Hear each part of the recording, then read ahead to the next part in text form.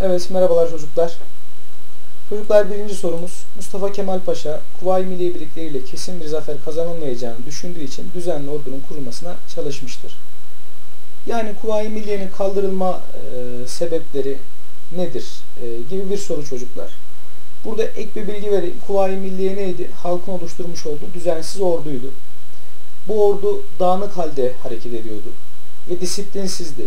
Ve çocuklar Kuvayi Milliye herhangi bir e, düşmanı durdurmamıştı, yenmemişti. Sadece işgalleri yavaşlatmıştı. Bundan dolayı da Mustafa Kemal ne yapmıştı? Bu düze, e, Kuvayi Milliye'yi kaldırıp yerine düzenli orduyu kurmuştu. Burada söylenemezi soruyor çocuklar bizlere.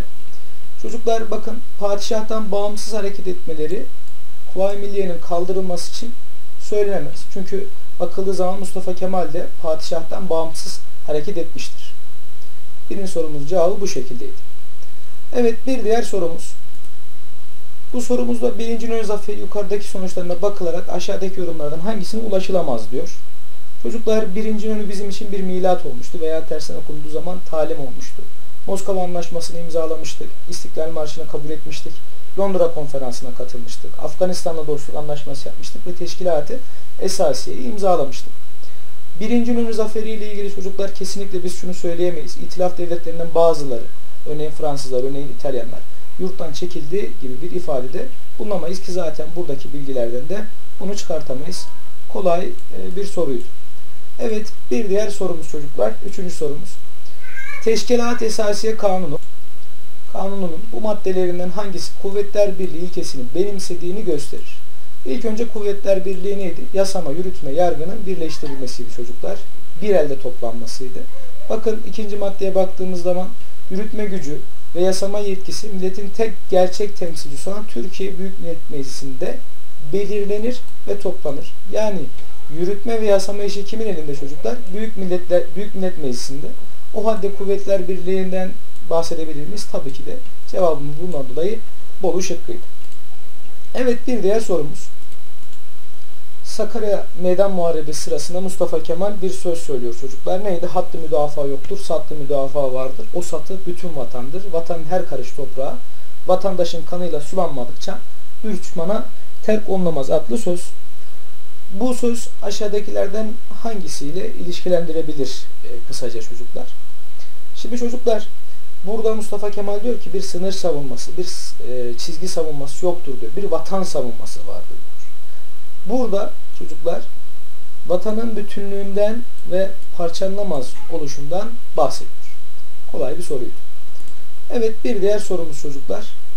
Mudanya Teşkisatlaşması'nın bu maddelerine bakılarak aşağıdakilerden hangisine ulaşılamaz? Bak Mudanya Teşkisatlaşması'nın maddelerinin bazıları İstanbul ve Boğazlar Tebrim hükümetine bırakılmıştır.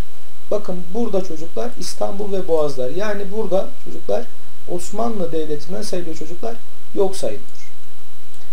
Türk ordusu barış antlaşması imzalanıncaya kadar Çanakkale ve Kocaeli bölgesinde belirlenen çizgide kalacaktır diyor. Yine Türk-Yunan kuvvetleri arasında silahlı çatışmalar sona erecek. Yunanlar Doğu Trakya'yı Meriç Nehri sınırı olmak üzere anlaşmanın yürürlüğü girmesini izleyen 15 gün içinde boşaltacaklardır. Doğu Trakya'da bakın biz savaş yapmadan ne yapmışızdır? Kazanmışızdır. Türk ordusu Kurtuluş Savaşı'nda başarılı olmuş mudur? Evet bakın başarılı olmuştur. Ama burada çocuklar azınlıklarla alakalı herhangi bir madde yok. Cevabımız bundan dolayı Denizli şıkkı. Evet devam edelim. Çocuklar haritadan yararlanarak Lozan Anlaşması ile ilgili yargılarından hangilerine ulaşılabilir? Bakın ulaşılabileceği bilenleri bize soruyor. Bakın şurada renklendirmeler var. Şu kısma bakıyoruz. Boğazlar yönetim şekli yeni Türk Devleti'ne kısıtlamalar getirmiştir. Evet bakın Boğazlar uluslararası bir komisyon tarafından yönetilecektir diye bir ifade var. Haritaya baktığımız zaman. Misak-ı Milli hedefine tam olarak ulaşamamıştır. Evet bakın Hatay Misak-ı Milli'nin yani bizim milli sınırlarımızın dışında kalmıştır. Haritadan da bunu görebiliyoruz. Hatay Lozan Anlaşması imzalanması ile birlikte Türkiye'ye katılmıştır. Hayır çocuklar. Hatay 1939 yılında ana vatana katılacaktır. Lozan Barış Antlaşması 1923 yılında imzalanmıştır. Ki zaten haritadan bakıldığı zaman da bunu görebiliyoruz. Ondan dolayı cevabımız Ceyhan'dı. Evet bir diğer sorumuz çocuklar. Bu bilgilere göre ne yapacağız? Bakın bilgilerden yararlanacağız. Cumhuriyetçilik ilkesi aşağıdakilerden hangisine karşı çıktığı söylenebilir? Cumhuriyetçilik devlet yönetiminde milli egemenliği, milli iradeyi ve özgür seçimi esas alan ilkenin adıdır. Çocuklar bakın burada din ve devlet işleriyle bir, ilgili bir ifade yok. Milli iradeden bahsediyoruz. Çok partili hayattan bahsetmiyor çocuklar bakın buradaki metin. Özel sektörden bahsetmiyor. Burada doğrudan çocuklar saltanat yönetimine e, karşı çıktı söylüyor. Saltanat neydi? Babadan oğula geçen sistem. Saltanatın olduğu yerde biz milli egemenlikten, milli iradeden ne yapamazdık? Bahsedemezdik. Evet devam edelim. Bir diğer sorumuz çocuklar. Atatürk, Türkiye Cumhuriyeti'ni kuran Türkiye halkına Türk milleti denir. Sözü, milliyetçilik ilkesi aşağıdakilerden hangisi üzerine temellendiğinin göstergesidir. Çocuklar bakın burada laiklikle alakalı bir kavram yok. Türk ulusunun ihtiyaçları gibi bir durum da yok çocuklar. Eski Türk kültürüyle alakalı da bir durum yok. Bütünleştiricilik özelliği var çocuklar. Türkiye Cumhuriyeti'ni kuran, Türkiye halkına. O dönemde sadece Türkler mi savaş verdi? Ya da Türkler mi sadece Türkiye Cumhuriyeti Devleti'nin kurulması için uğraş verdi? Hayır. Bütün e, içimizde bulunan unsurlar destek verdiler ve bu neticede Türkiye Cumhuriyeti Devleti kuruldu. Ve Atatürk de onlara hitaben dedi ki Türkiye Cumhuriyeti'ni kuran Türk halkına Türk milletidir dedi. Yani onları da kapsadı, onları da bütünleşti. Evet, bir diğer sorumuz devletçilik ilkesiyle alakalı soru çocuklar. Bu bilgilere göre aşağıdakilerden hangisi Atatürk'ün devletçilik ilkesiyle ilişkilendirilemez? Bu bilgilere bakacağız çocuklar. Bakın bu bilgilere baktığımız zaman devletçilik bir ekonomik politikadır. Ki zaten burada bahsediyor. Halkın ihtiyaçlarından doğmuştur. Evet, burada bahsediyor çocuklar. Yine devam edeyim. Ülkenin kalkınmasını hedeflemiştir. Evet, ekonomik kalkınmayı hedeflemiştir.